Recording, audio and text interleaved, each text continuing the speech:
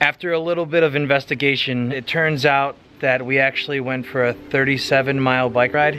We thought it was 37 kilometers and it turns out we were wrong. It's Yeah. 37 miles.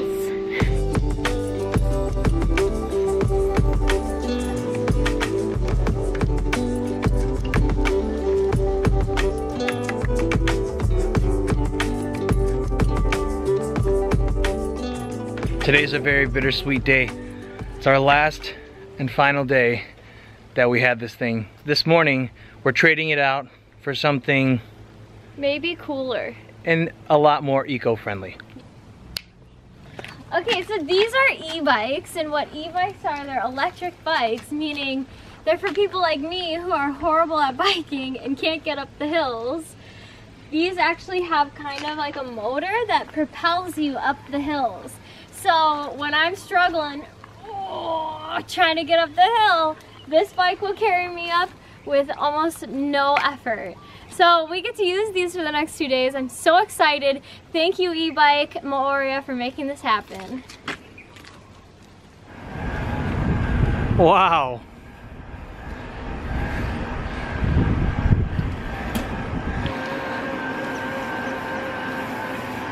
Ready for it?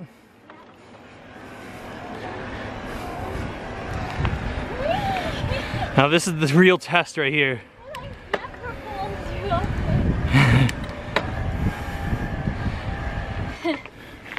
Jets you up the hill. That's so cool. It's like, oh, whoa! okay, so our idea today is to ride around the entire island with these. That's like 37 kilometers or something. And it might start raining on us. We absolutely love this island and we're really sad to leave here on Thursday. So we are taking one last trip around the island on our e-bikes and we brought, you can't see it, but we brought a speaker so that we can blast some awesome classic rock. We're actually taking our cue from the locals. Whenever you drive by the locals, they're if they're on a bike, they've got their music blasting, and so we're gonna do the same thing.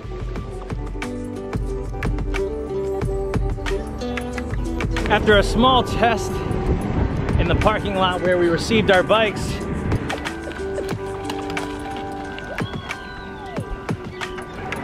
I think we're both getting the hang of this.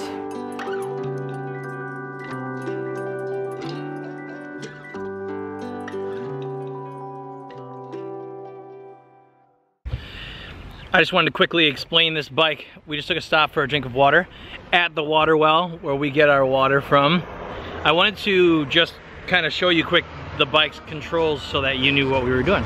This is my on-off switch right here, and this is how I go through the different sections here. Right there is our screen that shows our kilometers an hour and what we're doing, and we're in standard mode, and I can change that to high mode or back down to the beginning, which is eco mode and eco eco mode. High is pretty intense, like the power goes really high. We've been using standard mode. Next we have our gears. If you've never been like a awesome bike, this puts your gears down to a first gear, and that's your low gear, so you can go faster or slower. This knob is just a pretty to look at because I'm not gonna touch it and I don't know what it does, and that's why. No, that's not a button, it's just this thing, which I don't know what that is.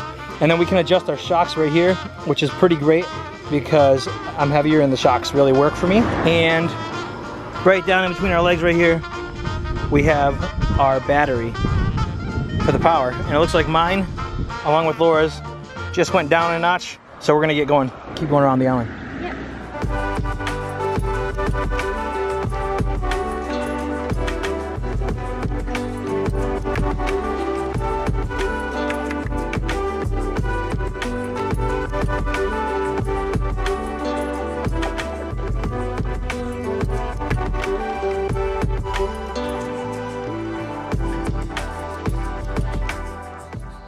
No kickstands for these bikes, so you just set them down, you know, gently. But we decided to stop off at this really cool church, but it's pretty sweet. It's got like the best background ever.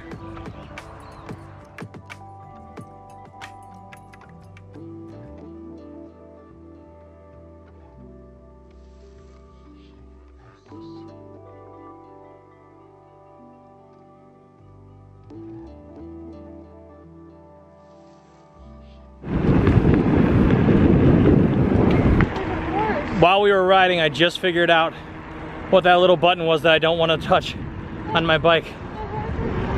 I found out it's a bell.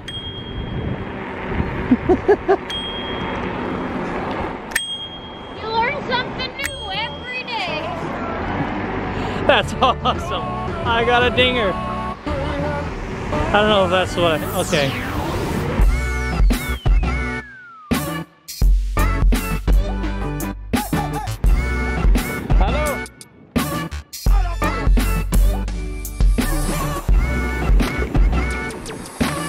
The speed limit's 60.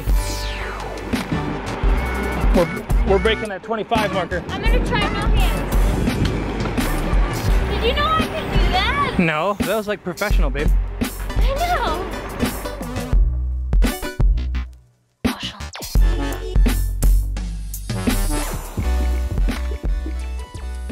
Just took another stop for some more water. We're at 18.5 or just around 20 kilometers and the battery has gone down another tick. Let's go, keep going. Check out this blue water. This is insane. That's Tahiti. So that that island. For any of you bikers out there, I have one question for you. Why don't they make bike seats more comfortable? This is the most uncomfortable thing in my life. They spend so much money on the framework and the tires, and then it seems like they just plop on this rock hard seat. This is so uncomfortable.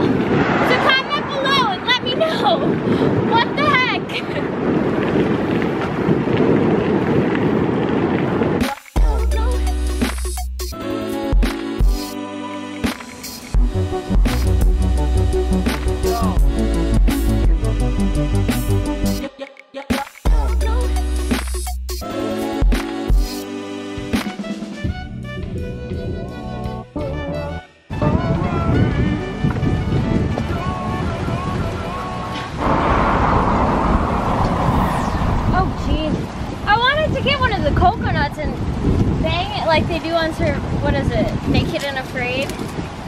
Bang it and then open it and drink it. Why don't you do that? Okay, you try and get it. You got it! That's the coconut! Okay, now pour it into your mouth. Is it good? Yeah, it's fresh coconut juice, but it's like getting it everywhere. Yeah, I don't know because how to do this. I'm gonna be so sticky. Wait. Wow, I didn't know it was inside. Oops. Is it good? Yeah.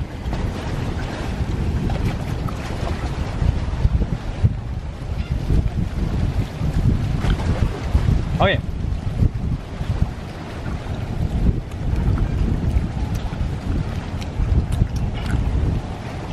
There we go. Okay.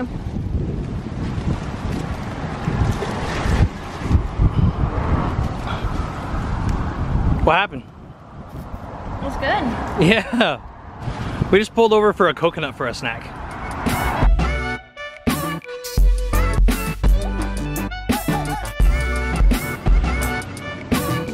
That's Tahiti.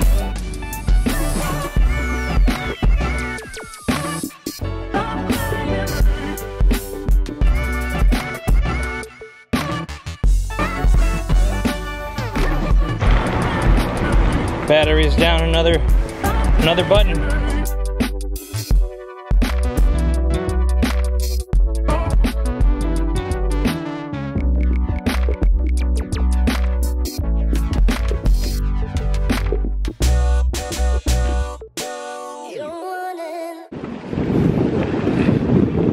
Check this out. This is the ferry that comes back and forth between Papeete and Moorea like 55 times a day. Save it for the end. So we're gonna save it for the end. We're gonna cover some ground here and bring you back here in just a little bit. Biking around the whole island wasn't the easiest thing we've ever done, but with e-bike Moorea we were able to do it. Cool. Here's the owner helping us map out our adventure. Good idea. Yeah. Yep. We started here, and using electric bikes, we went around the whole island. By the time we got here, we knew we only had to get around the bay and decided to make up some ground. We just got done. Well, that was a great workout. A little tough.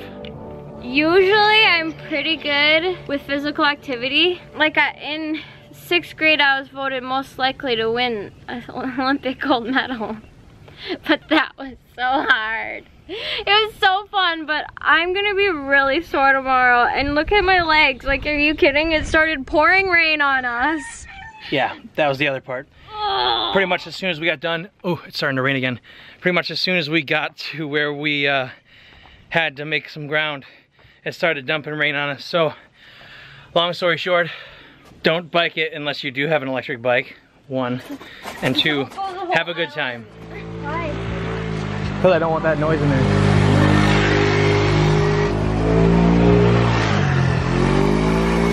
We literally live where no one comes, and yet for some reason we decide to record, and two bikes have to drive by us. Just saying. And it might start raining on us, but we're prepared with waterproof skin. I don't. That it's not. It's not waterproof. It is, it goes right off of me.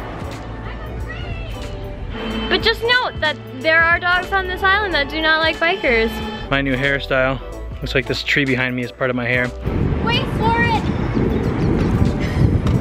Casey, it! What did you do?